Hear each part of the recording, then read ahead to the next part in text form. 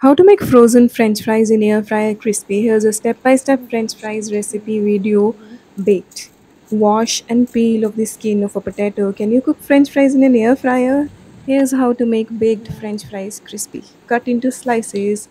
You don't want to keep the slices too thin or too thick. Keep them medium size to make them perfectly crispy. Now take cold water, add mineral salt.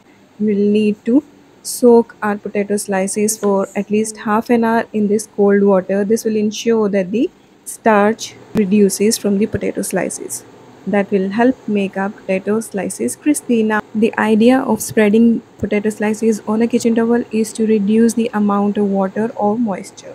Now 2 tablespoons of tapioca flour or starch red chili powder, black pepper powder and salt or senda namak and 1 teaspoon of ghee or oil since we are making these french fries for sawan or upwas so I have taken senda namak and ghee. Now coat the potato slices with this mixture coat them really well shake the jar and we will be freezing these marinated potato slices for at least 20 minutes you can keep them for a whole day too Preheat air fryer to 200 degrees Celsius along with the baking tray for at least 5 minutes. What is the right french fries in air fryer temperature? It is 200 degrees Celsius and look at the baking tray inside the preheated air fryer. You want it to be extremely hot.